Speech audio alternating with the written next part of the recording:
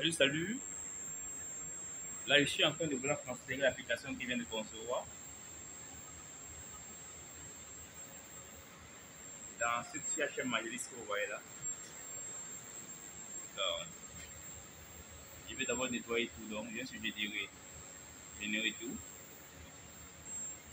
Après d'avoir généré tout, je passe sur générer et transférer tout vers l'IHM. Je dis transférer tout. Et le transfert commence. On prend maintenant du côté de l'IHM, moi, je ne sais pas. Du côté de l'IHM, l'IHM c'est terme. Il est en train de recevoir le programme que vient de concevoir, l'application que vient de concevoir. Le transfert se fait par Ethernet. Et l'évolution du programme commence à évoluer.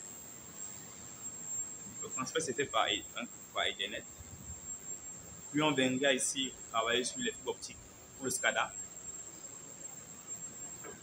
Donc, le transfert continue à évoluer. Vous ne faites rien, vous attendez seulement et l'application est livrée. Sauf que là, je n'ai pas encore connecté mon câble RG45 qui est là sur le switch.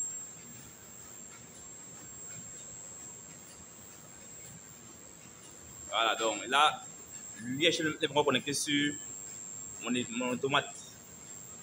Donc, je vais connecter donc sur mon automate.